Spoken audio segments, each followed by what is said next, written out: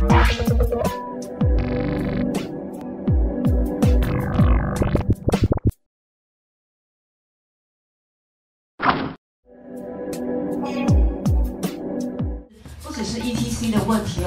这一阵子以来，我们的政府一直大力的推动所谓的开放资料，但是我们看到政府开放的资料，其实反而不是政府资料，而是先把人民的各资拿来做大量的开放。那其实过去呃，就是目目前已经开始看到很多这样的一个趋势了。那我想 ETC 这今天我们讲的这个问题，可能只是冰山一角而已。那到底呃，在没有任何的一个法律的依据，以及没有当事人的同意情况底下，那为什么我们的政府，然后包括说像呃这个 ETC 的话的行车记录是这个资料可能是从远通这边这个企业所提供的，那到底他们呃如果是在没有当事人的同意情况底下，那为什么可以把这些资料开放到网络上面？在没有人民同意的状况之下，竟然把我们的资料做这样子的公开，这其实是非常不合理的。没有经过任何的同意，没有任何的授权。然后虽然说，呃，刚刚前面有解释，就是有部分做呃隐匿的部分，但是其实只要你是有心的人士，你还是有办法可以在呃经过一些推估或者是一些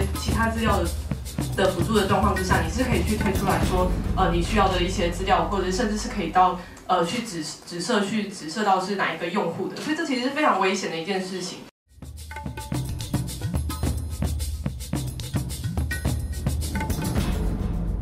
您现在收听收看的是《灿烂时光会客室》，我是节目主持人管中祥。《灿烂时光会客室》呢是由公司新闻一体中心 PN、公民系统影音记录资料库以及《灿烂时光》节目联合直播的视讯跟音讯的节目哦。我们在每个礼拜天的晚上九点半呢，会在啊公司新闻一体中心 PN 的网站上面会直播，之后会在公库的网站直播。那在礼拜五的晚上，会在中正大学金声金视广播电台《灿烂时光》节目来播出。呃，今天比较特别，我们今天到了这个是高教工会跟呃公民系统影音记录资料库的联合办公室，我们要来一起来谈，我觉得蛮重要的一个话题哦。这话题其实是涉及到一个非常重要的一个问题。我们知道最近这几年有一个概念出来，这个概念叫做 big data，叫做所谓的大数据，或者是在更早之前有人提到所谓的开放数据 open data 这个概念哦。那我们看到很多的政治人物，或是很多的这些所谓的商业机构，或者很多的研究机构，他们开始去用所谓的 big data，所谓的大数据。啊，甚至一些开放的资料库去做一些研究，甚至在做一些行销，或者在做一些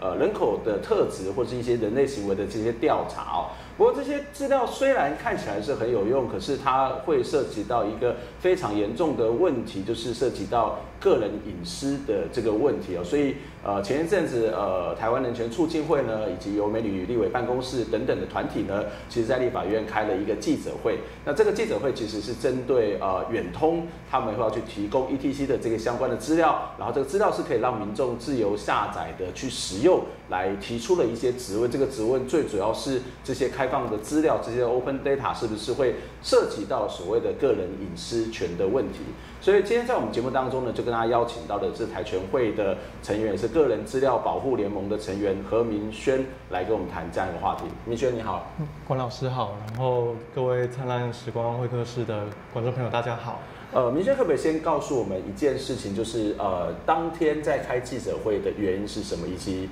在那个记者会上你们有什么样的诉求吗？呃，当天会开记者会的原因是一开始其实是有呃我们的一个消息传来说，呃高工局他把 ETC 的这个资料库，然后放在网络上让所有人去下载。那其实这个消息我们在事前是完全不知道有这样的状况。那所以那个消息传来之后，我们其实呃蛮讶异的。你是说这个资料库已经开始让民众已经他已经在开始使用开放下载的时候，我们其实才得到这个消息。嗯嗯对，那我们就呃听到这个消息之后，我们就去上网看了一下，说这个资料库到底实际上它开放出来的形式是长什么样子。这是一个问，这是一个我们希望可以先检视一下它的开放资料的状态。嗯那另外一个当下的疑虑就是说，高工局你要使用这个呃 ETC 的资料的时，就是上面的行车记录的时候，你有没有先去跟这些 ETC 的使用者，嗯有说过你会把这些资料做某种处理之后拿来做其他的利用？嗯那呃，我们仔细的去就有详细的去调查了一下，其实没有发现说高工局它有做过类似的呃承诺，或者是呃就是对民众有这种有这种协议。那所以啊、我们一来觉得说他既没有征询过民众的事先同意，就把民众的资料做啊、开放利用；二来就是说，那我们实际上去看了那个资料库以后，发现那个资料库的某一些资料的确是有一些问题的。嗯，那基于这样的状况下，我们就觉得我们应该要出来说一声，说你公共局今天不能在啊、这样的状况下，在一个没有合理管控、隐私也没有做好合理管控的状况下，然后也没有征得事先同意的状况下，你就去做这样的动做这样的动作。嗯哼，我我先承认我是有装 ETC 的。那刚刚明轩提到的说，是不是有事先呃去询问过我们这些使用者有没有去愿意去开放这个资料？我的印象里面是没有，但是也许我们在签约的时候或者在办理的那个过程当中，它可能会有一个呃定型化的契约，但是绝大多数人可能都跟我一样，大家都不会去仔细看那个定型化契约。我不知道这这部分有没有，也许待会明轩可以来再给我们做进一步的说明哦。但是我想要先呃，在进一步去讨论之前，可能有一些基本的概念，也许可以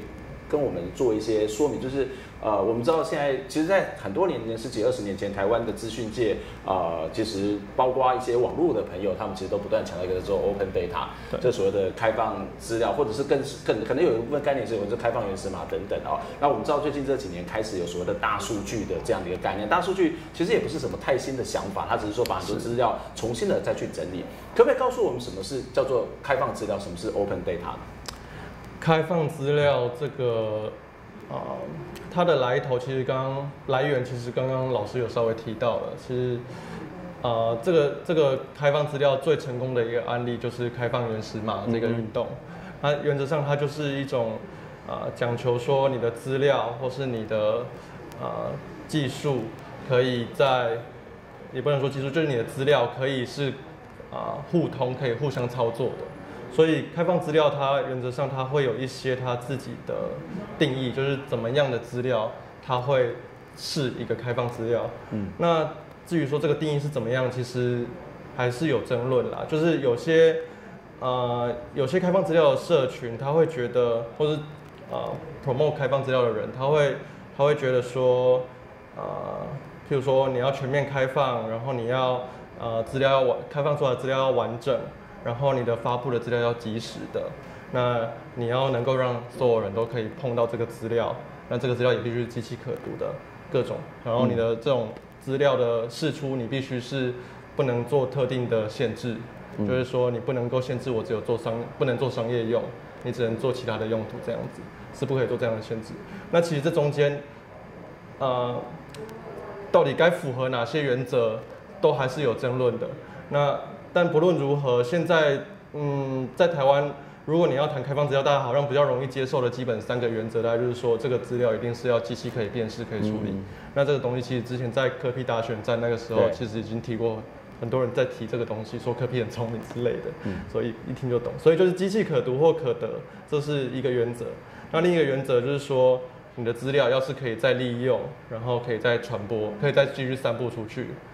的这种授权，你的授权政府那些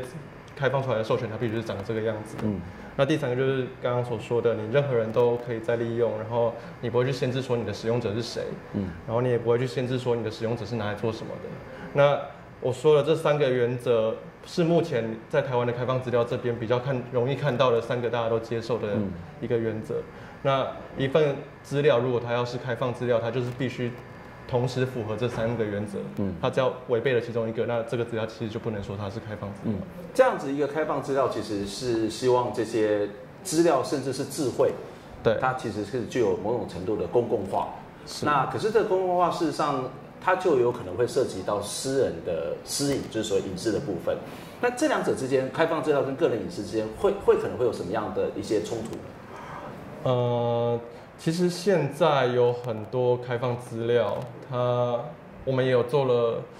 我们台湾自己就自己而言，其实也产出了蛮多以开放资料来啊、完成的一些可能是商业的案例，嗯可能是呃一些民众自己。啊，因为基于他觉得对这个社会有一点期待，所以他就利用了一些政府开放的资料来完成了一些对社会有意义的事情。例如说，我们可以看到像实价登录实价登录这样的一种，在一般的民间的一些骇客、一些高技能的这些呃电脑资讯的朋友，他们其实就把这资料拿来做这种所谓的骇客啊、这个所谓的一个呃刚刚谈到实价登录，或者是像这个违建的这个所谓的分布图嘛，对嗯，违建的分布图、违建分布图跟实价登录，或者是说蒙点，嗯。这种用教育部的国语字典它做出来的那个比较容易使用的一个呃字典，或者是说像之前八仙晨报的时候，也很多人去整理出那个伤亡的那个哪边需要资源汇入的那个统那个那个分布。那或者是说，最近有一些气象资料，也开始有一些民间的呃人士运用气象资料去把这些呃开放出来的气象资料去做呃进一步的分析，这样子。那其实这些东西都这些东西都是我们觉得很好的利用。那呃我们会觉得有问题的，当然就是说你因为刚刚提的那些东西都跟个人资料其实没有什么关系。那呃，跟个人资料比较有关系的，像是什么案例呢？像是最近台北市开放了一个呃犯罪热区嗯的这种这种分布。那这种分布一出来之后，其实有一些听到有一些声音是说，你开放这些还不够，因为你要做到好让民众安心的话，你应该要把谁过去曾经是犯人，哇。谁曾经做过坏事，就是像美国那种美根法案的做法，这也太太开对放了，对对对，像这种这种东西，就我们是觉得，如果你基于一个隐私权是一个基本人权的顾虑，然后你希望让这个人还有一点希望的话，你不应该就是连这种东西都开放出来。也就是说，涉及一些很敏感的资料，譬如说犯罪资料，嗯。譬如说健康资料，对，那呃，我们会认为说你一来这有两个层面，一来是说你这些资料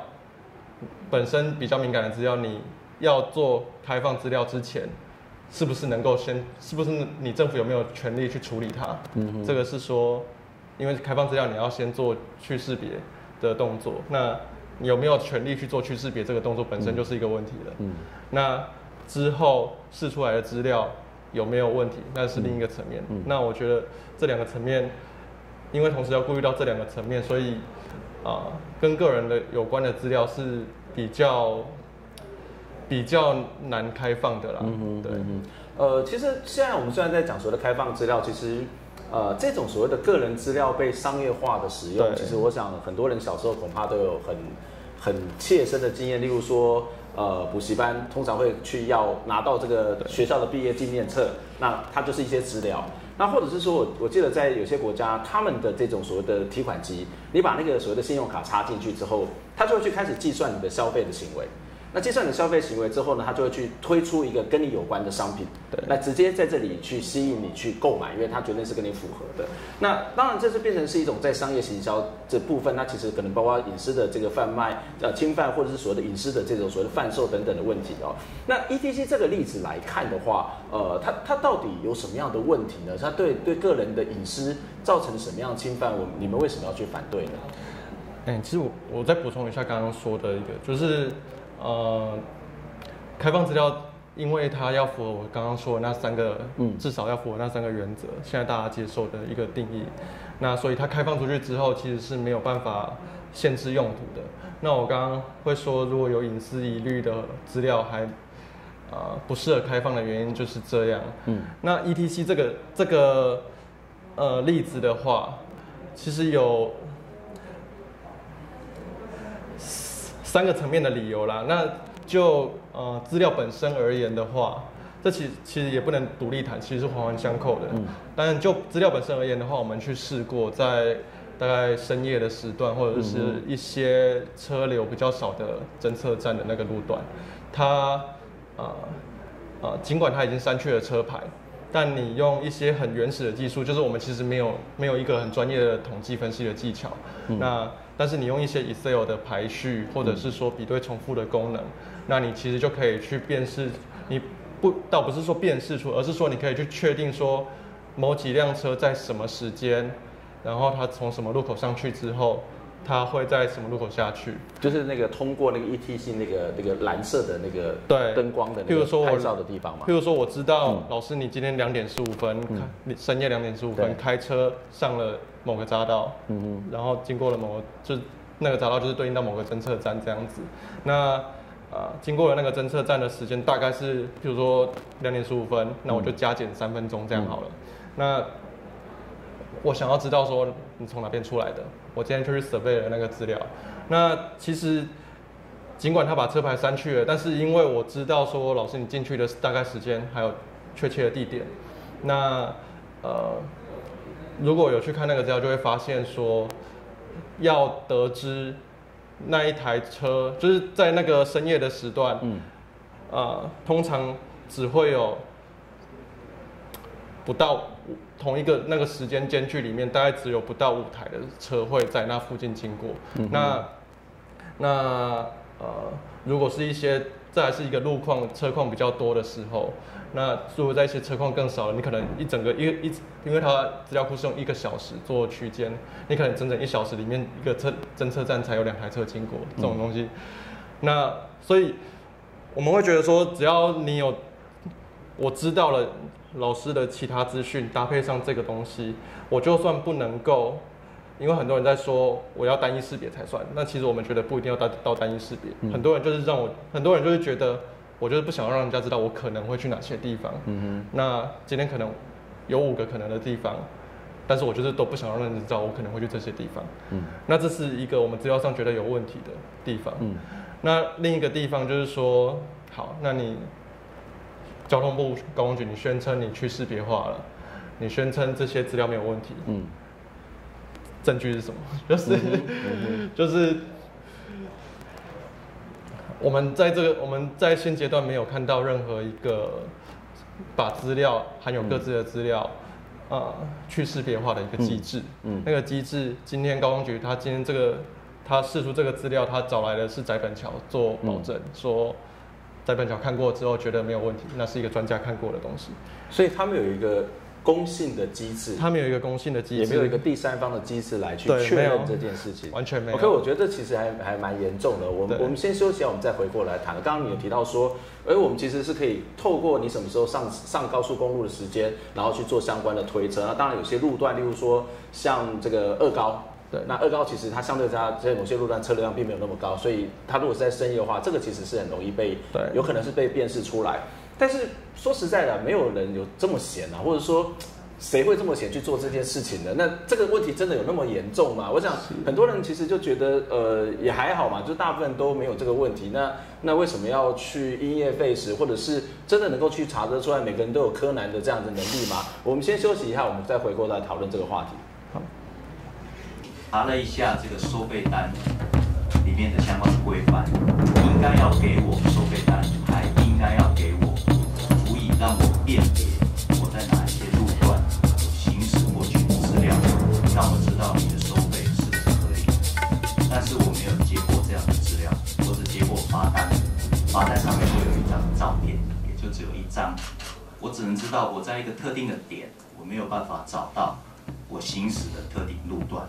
当然也不会去头脑去记忆这件事情。那我向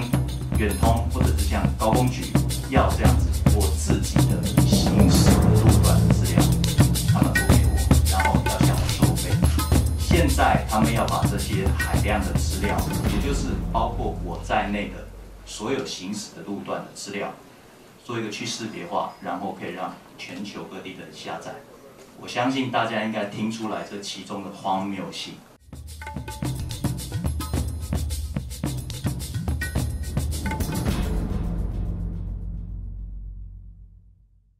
您现在收听收看的是《灿烂时光会客室》，我是节目主持人管中祥。《灿烂时光会客室》呢是由公司新闻议题中心 PNN、公民行动影音记录资料库以及《灿烂时光》节目联合制播的视讯跟音讯的节目。我们在每个礼拜五的晚上，在呃中正大学金声金视广播电台 FM 八八点一会播出；在每个礼拜天的晚上九点半呢，在公司新闻议题中心 PNN 我们会有现场的直播，之后会在公库跟 PN 的网站，我们都会有完整节目的这个播出哦。那我们今天要跟大家谈的这个议题，其实我想跟绝大多数的开车族，大家如果说用路人，其实都有很大的关系。那但是这个，我想如果这件事情没有好好的处理，没有把它好好的谈清楚，甚至没有好好的去阻止它、去修正它的话，我想很多人的隐私可能就会受到更大的影响。最主要是因为呃，高工局的交通部跟这个远通，他们其实是可以把个人的 ETC 的这个资料、这个用路的资料是可以下载，那也可能透过某些的这种所谓的计算跟辨识的过程，就可以去掌握民众的行踪哦。今天在节目当中跟我们我们一起来聊的是呃台湾人权促进会台权会的成员何明轩，跟我们来谈这个话题。呃，明轩你好。哎，管老师好，然后各位灿烂时光会客室的观众朋友大家好。呃，刚刚我们有提到一个话题，这个话题就是说，其实你刚刚提到说这个 ETC 这件事情哦，其实有三个原因。第一个就是说，这个资料其实它是可以去计算出来的，去推论出来的。第二个，当然这个所谓的认证的所谓的去呃这个所谓的标志化，去这个所谓的它本身的这种所谓的标志化的这样的一个机制，其实就是宅神。来帮我们做鉴定，这个我听起来是蛮离谱。这个跟宅神本人是没有任何的关系，对，跟他没有关系，因为他本来就是一个在网络上面真的很强啊，这没什么好好说。可是作为一个国家机构，对不对？好，作为一个交通部这个高工局，那这些资料开放，怎么会是有一个个人呢？就是我们如何去相信一个个人？那甚至没有第三方。对，那你刚才提到说还有第三点，对吗？还有第三点，第三点，呃，第三点其实是这个标准的问题，就是我们的。呃，刚刚说我们国家其实没有一个第三方或是一个相关的认证机制。嗯，那其实，呃，蔡玉玲她有宣，就是在在大概四个月前，我们的政务委员蔡玉玲她有呃发布了，就是标准局有发布了一个 CNS 二九一九一的这个这个标准，然后它的标准上面就是写部分匿名，呃及部分去连接鉴别的要求事项这样子。那其实。呃，在那个有一篇报道里面，就 IT Home 他去找了呃蔡玉林政委去做了一个访谈。那访谈中，那个蔡玉林政委他是说，呃，就是这两份标准，这一份标准跟这个二二九一零零这个隐私权框架的这个标准，它是作为日后开放政府，就是政府开放资料的时候，它可以参考的依据。那我们觉得，其实有看过这两份标准，就会知道说，这个一来这个隐私权框架，其实问过，已经不只有一个专家学者跟我们说，这东西根本就不是拿来验证的东西。嗯那其实你去看了相关的资料以后，你就会发现，你去看了它的内容，就会发现说，呃，它里面其实就跟你提到说，一个隐私权保护应该要有的什么基本概念是什么这样而已。那个基本概念包含说，哦，一个隐私权的保护里面应该会有。所谓的资料拥有者，嗯，资料控制者，这些名词代表什么意义？感觉是一个定义法学概论、资讯素养的内容。对，一个定义的，对对对，他就跟你讲这样。然后这个东西就其实就更离谱了，因为这个东西讲的是部分匿名及部分去连接。什么叫做部分匿名及部分去连接？意思就是说，这个资料这样子的资料，它还是在某些时候，它可以被。呃，重新识别，重新再连接，因为它只是它只是部分的。那他讲的其实就是说，你拥有一个这样子部分匿名、部分去连接的资料，你应该要做什么样机制的管控，让这些资料可以好好的被保存、管理、利用这样子。但他讲的不是开放资料这一种，开放出去之后没有办法限制用途，呃，所以你理论上应该要无法再被识别。应该要是一个匿名的资料，他讲的其实不是这种东西，所以我们会觉得说，你政府今天不能够拿这种假的标准来套，就是拿这标准也不是假，而是说你拿一个错误的东西去不对的东西去套到另一个东西上面。那啊，刚呃老师有提到说，就是这东西有这么严重吗？就是就是说有办法，每个人都有能力去做辨识嘛？或者说，呃，第一个是有没有那么多时间啊？第二个是说那个资料是足以辨识的资料吗？你刚刚他又没有车牌号码？他只是几点几分从哪个交流道，或是经过了哪个那个 tag tag 的这个匝道，那他就有办法去辨识吗？这不就是一种所谓的去识别化的做法吗？对，但但是我们今天的问题就在于说，我今天是个其实没有什么技术的人，我去踹的这个东西只有用 Excel。那，所以在技术面上，首先在技术面上，这不是一个很很难达成的事，嗯哼，因为你那个入口的资料其实就只有几十笔到上百笔，可能最多不会超过，在在车辆少的时候不会超过一千笔。那这种时候，这个资料其实是相对好处理的，它不需要技术门槛。嗯，那二来就是说，这个资料到底重不重要？我觉得这个问题，人民当然可以每个个人可以问自己说，这个问题，这个这个东西到底重不重要？很多人会觉得不重要，我我我们也都知道。那问题是说，你今天政府在开放一个资料的时候，在利用人民隐私的时候，利用人民的个人资料的时候，你不能存着这种心态，就是说你不能因为很多人觉得我损失一点隐私也没什么关系，然后你就便宜行事。那呃，然后打着公共利益的大名说，哦，我今天要把这些资料开放去做交通。但公共利益这个东西，我们可以再谈到底是什么。然后公共利益本身到底跟开放资料有没有关系，也可以再谈。那至少政府在利用人民资料的时候，他不能用这样子敷衍的心态去说预设每个人都觉得这个人是这些资料是不重要的。他应该要尽力去避免这种可能会被再重新识别的状况。嗯那因为可能就是有很多机敏人士、机要人士，他就是不愿意被知道。那你政府理当要避免这种状况。对，嗯，就是如果从我们做媒体的角度、做新闻的角度来讲，其实这些资料对我们是蛮好的。对，对，我们只要知道某个艺人、某个明星从或是某个政要从哪个地方、什么时候出发，那我就有可能去掌握了他的行踪。是那当然，呃，就是要看你这个有时候去跟监，我我觉得从媒体新闻角度来讲，它未必是一件坏事啦。对就是但是这个资料取得，它当然就会有某种的争议性嘛，哈，就是呃，看谁会去用，以及什么样的人会用，它可能的问题就会不一样。那但是这是一个私人的资料，可是如果这样子谈下来，我觉得呃，那解决方法很简单，就是因为从高工局、从交通部的角度来讲，他是说这个资料的一个目的是做什么，就是希望能够去做流量的分析嘛，哈。对那那那就做流量的分析，那那是不是就是不要让大家自行下载，那就由政府去做一些统计，去做一些计算，去做一些模拟，这个问题就解决了呢？对，其实 这当然是一个解决方式，因为、但今天政府就不是这样做，他开放他他因为现在高那一天记者会，高工局是说，呃，有一些民间的人士一直在希望高工局把这一部分的资料开放出来，嗯，那希望开放出来，民间人士是要做什么？例如说，不知道这这就是就有些 app 他会去用嘛，可是 app 其实它它也不见得要去自己去做这种所谓的 big data 的这个计算，它交高工局它就提供就，但我不知道那个民间资料。它它指的是什么，或者是谁会需要用到这样的一个民间呃民间的团体，或是机构，或是企业会去用到这种所谓私人的资料呢？嗯，民间机构岛不一定是会需要私人的资料，或者说他可能也不愿意，我不知道，因为我没有接触过，那我无法先预设说他们要的是不是这种高工局现在释出的这种有问题的资料，我们觉得有问题了。那至少那一天，呃，听起来、呃、是有这么一群人去跟高工局拿资料了。那高工局其实我们也觉得高工局你在一个国家没有这种相对应的机制去保证说一份资料是没有问题的状况下，你